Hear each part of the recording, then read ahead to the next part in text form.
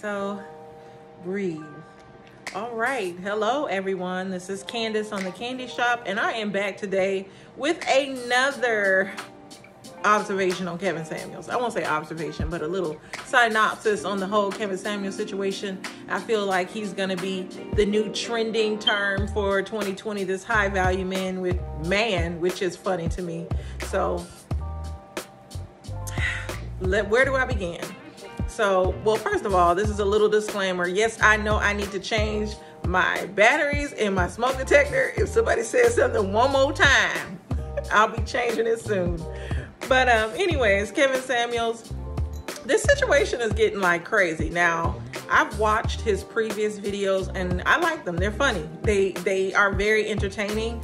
Um, a lot of what he says is true, but he has a very harsh delivery when he says it. Um, also, some of the people calling in men and women just they don't seem like normal people. I don't see people like this outside in the real world, like unless they don't show it. So, for one, with with women, um, I know there are women that when they are searching for a life partner or trying to date a man, they do want a man with money. It does not. I'll just say this: it does not always have to be a six-figure guy. And to me, six figures right now, when you really truly look at it, let's take $100,000. Somebody making $100,000 a year is still middle class money.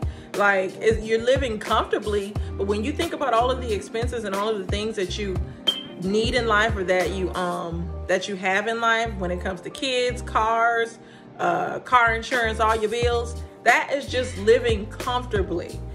To me, the six figures is not a lot when you think about it. Now, if you if you're this seven figure man where you're making millions of dollars each year, then yes, that is a true high value man.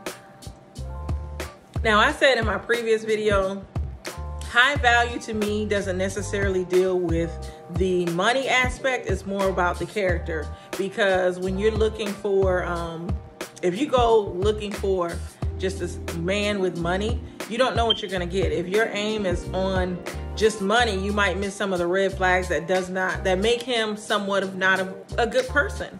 And so that's very scary. This man could be an abuser. He can be all sorts of things and you would never know that because you're so focused on the money. Men. I've noticed men call into Kevin big Samuel's dick. show. Huh? You have a big dick? I mean, it's above average. I ain't know Ron Jeremy. No, no, no, no, no, no. I asked you if you had a big dick. I just said it was above average. I don't know what that is, really. Uh, nigga, you know if you got a big dick or not. Stop the bullshit.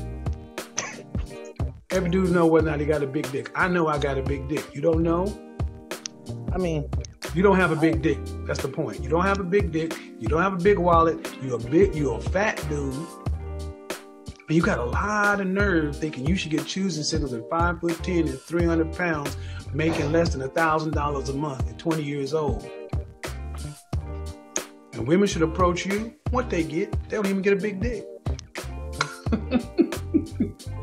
Some of the men that call in get looked at as being, I guess, insecure as well.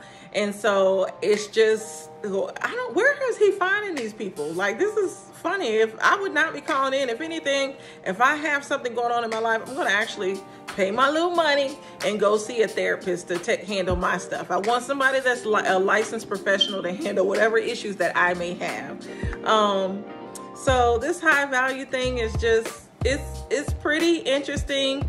I think a lot of people are getting way caught up in this term, it, where it's, it's becoming kind of delusional. Um, realistically, though, you you have to look at yourself in your life, and are it basically the question is, are you living your life being authentically you, and, and are you okay with that? And so, me, I want to be happy. Life is too short. Um, I don't have time to be trying to live my life to someone someone else's standards. I have a husband, I have kids, I have a job. I have a lot going on for myself where I can't get caught up into this high value thing, high value that, and all this other stuff because I have real life situations that occur, and that is just it's ridiculous. All right, so enough said. But yeah. Oh, another thing that I wanted to point out, it does. Now, this is what's confusing.